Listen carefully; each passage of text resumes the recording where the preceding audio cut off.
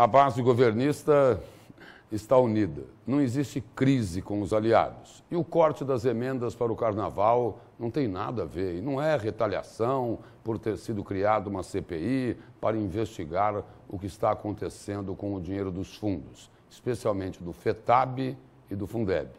Estas declarações são do governador Pedro Taques, referindo-se aos parlamentares que dão sustentação ao governo na Assembleia Legislativa.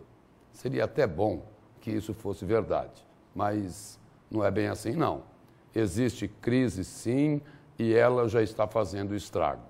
Para comprovar como é grande esse clima de tensão, nenhum deputado compareceu nesta quinta-feira na posse do novo secretário de Fazenda, que é a mais importante de todas as secretarias, porque é lá que fica a chave do cofre.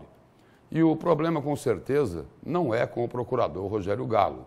Toda essa insatisfação é com o chefe dele, o governador do Estado.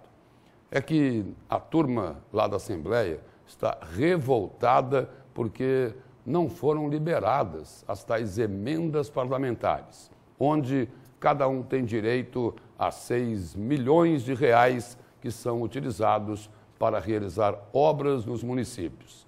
O desespero é grande porque estamos num ano de eleição. Os deputados alegam que precisam dar uma satisfação para os eleitores das regiões que representam.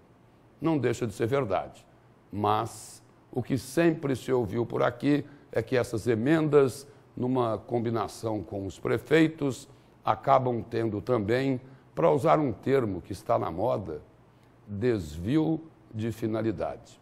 Mas isso deve ser pura maldade, não é mesmo?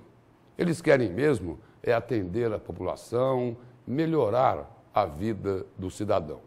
O governador explicou que só vetou as emendas para o carnaval por causa da enorme crise financeira e que não é uma represália pelo fato de terem criado uma CPI para investigar o governo.